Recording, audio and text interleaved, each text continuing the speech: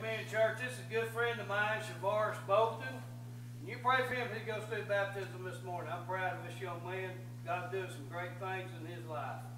Shavaris, in humble obedience commanded by our Lord and Savior Jesus Christ, based upon your profession of faith in him, I baptize you, my brother, in the name of the Father, Son, and the Holy Ghost.